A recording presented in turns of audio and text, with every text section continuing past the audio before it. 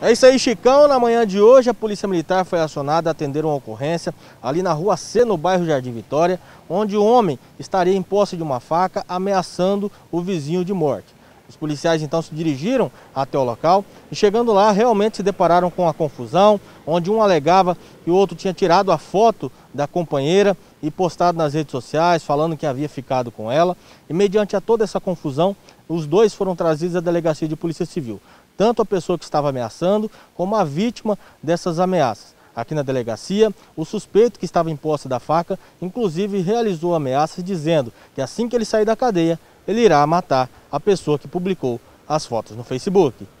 Então, pelo que a gente pôde apurar com a própria vítima, ele alega que um vizinho é, foi onde ele estava, puxou uma faca do tio Peixeira e tentou matar ele, alegando que ele havia postado no Facebook que havia ficado com a mulher dele.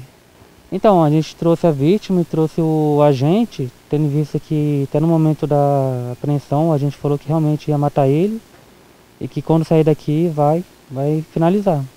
Então é, vai ser inicialmente feito um boletim de ameaça e no nosso histórico a gente consta toda essa situação aí, para que seja devidamente apurado também.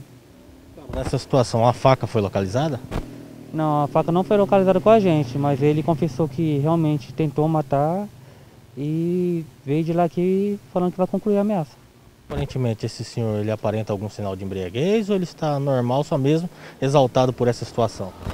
Não, ele está ele tá visivelmente embriagado e exaltado também. Ele também toma remédio controlado.